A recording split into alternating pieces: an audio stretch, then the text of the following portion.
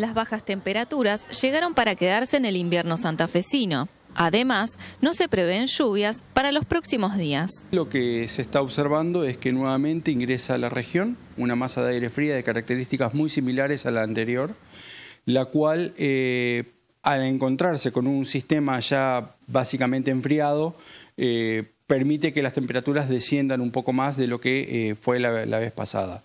En general lo que se está esperando para lo que es el ejido urbano eh, es que no lleguemos a temperaturas de 0 grados ni, ni por debajo, pero eh, es de suponer que para lo que es zonas rurales sí se podrían dar temperaturas bajo cero, sobre todo teniendo en cuenta que este es un sistema que eh, a finales de la semana pasada o, el fin de semana generó importantes nevadas en todo lo que es el sur del país.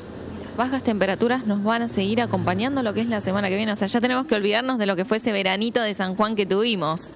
Bueno, básicamente eh, lo que se está esperando es que esta, digamos que esta masa de aire fría persista por varios días porque eh, su ingreso está eh, siendo bastante lento, ¿no? Entonces, al ser lento y gradual, eh, se mantiene más en el tiempo, lo que genera que, digamos, hasta por lo menos principio, entre principio y mediados de la semana que viene, se tengan temperaturas más acorde con lo que es el invierno. No se están esperando lluvias, por lo menos hasta por lo menos la semana que viene. Eh, en general lo que está predominando es una masa de aire muy seca, ya sea durante el, durante el ingreso de aire frío y también durante esos dos o tres días que ingresó aire cálido, siempre fue de características secas y eh, esto genera, digamos, eh, la, falta de lluvia o el no pronóstico de lluvia, ¿no?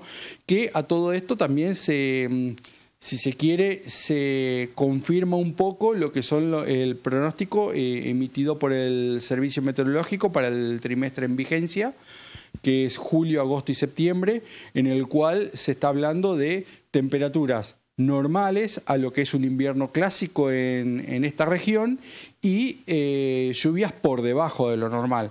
Digamos, eh, deberíamos estar eh, contemplando justamente eso, ¿no? que no, no se están esperando una, una, digamos, una alta frecuencia, una alta posibilidad de lluvias a lo largo del trimestre. El 9 de julio, que se viene el locro y demás, va a acompañar el clima. Sí, sí, el 9 de julio va a estar, pero para locro a full.